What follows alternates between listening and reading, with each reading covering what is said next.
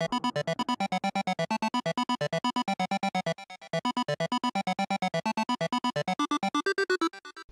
guys, what is up? This is Private Mittens, and I'm going to be here with episode 2 of Phantasy Star. Without further ado, let us begin.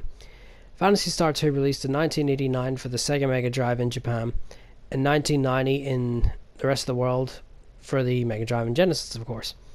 Now, as you can see, they released it worldwide again, so that's a good thing. But I'm going to talk about some of the bad stuff before I get to the good stuff. Phantasy Star 2 felt a bit rushed in a lot of areas, especially the combat arenas. Now, in the first game, the combat arenas were essentially if you fought in a meadow, you got a meadow. If you fought in a forest, you got a forest background. You get the drift. Now, this one had a Tron look in any battle, any boss fight, and it was just a damn shame. People say, some people defend it and say that it was designed around the story. I don't agree with that whatsoever. I think it was because the team that worked on this game was the original team of the first one, but they they were doing Sonic as well. So yeah. Um another thing I don't like about this game is the dungeons. It went from the 3D first person that the first one did to a top-down traditional view that the second one, third and fourth obviously did.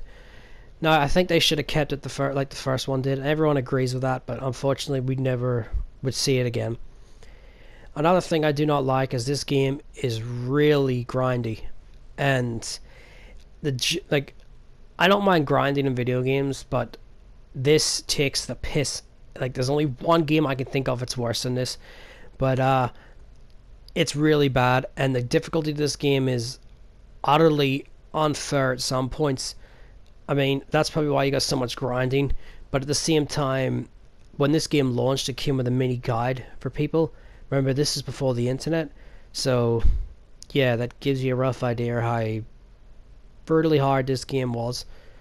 Um, and the last thing I want to bring up for the bad things is the eight characters. Now, you got characters throughout the story that you could switch out the party, something that the first one obviously didn't have because the first one was set party. Now, the characters are good in their own right, but we never learn anything about them because they only get like two windows of dialogue one when you meet them and one towards the end. Now, Japan got a text adventure to actually, you know, give a backstory of the characters, but we never physically got it. It was translated into English, but it's not the same as actually getting it on the cart, you know. But uh, yeah. Now let's talk about the actual game's good stuff. Phantasy Star 2's graphics are phenomenal for their time. I mean, for a very early game on the Mega Drive, it puts a lot of games to shame. Hell, it even puts some Super Nintendo games to shame. Um, now, I said about the backgrounds looking, you know, Tron-like. That's true, but it made up for everything else in sprites animations, you know, all that there. The combat now, you can actually see the back of your characters when they're standing there, you know, in the line. And when you get them to attack, they'll actually have their own animation depending on what weapon you actually equip them to. Which was really, really cool to see. Now, do you remember how I said that this game's really grindy? Well, the game actually did something to help this, even though it didn't help much, but you could actually set up essentially a combo where if you're going to grind in a certain area just to get experience points and uh, you know money and all that there you can actually set a combo up and like you go into battle just press a button and the combo plays out for you.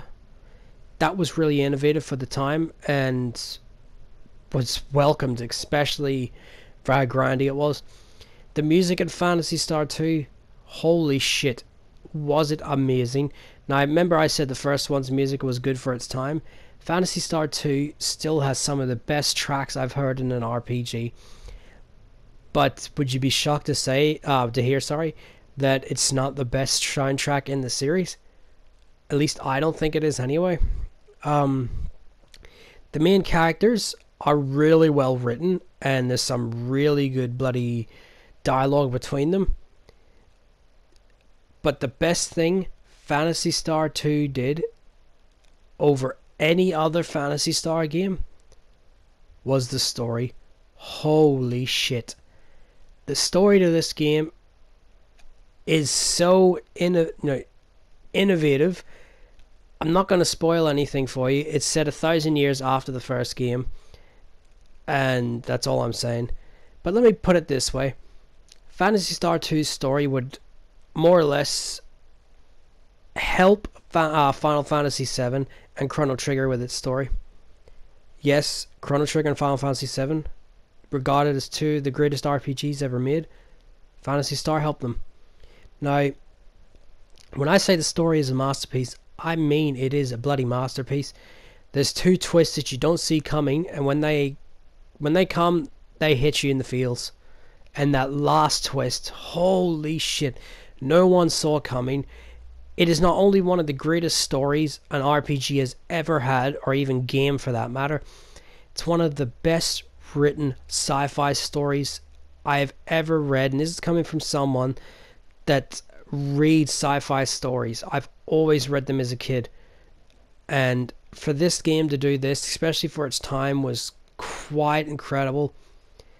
Now, Phantasy Star 2 did get a few remakes over the years. But once again, just play the P- uh, PS3 360 version on the collections. But uh, what? So yeah, what I would recommend is playing them all in order. But you can, if you want, skip the first one and play the second one first, because second one, even though it is set a thousand years, it doesn't really. You don't really have to play the first one, to be honest. But uh, yeah, just play the series more or less. But before I leave, I would I'd like to mention one thing, you know, because there's no reviews for this game as well, or added up scores. But there's one thing that was said about this game in 1995 by none other than Nintendo Power, and that was Phantasy Star 2 and 4 are some of the greatest RPGs ever made. So once again, Nintendo said what they said about the series and said it's amazing. But anyhow, that's episode two, guys. Stay tuned for number three. Hope you guys enjoyed. This is Private Mittens. Take care and see you later.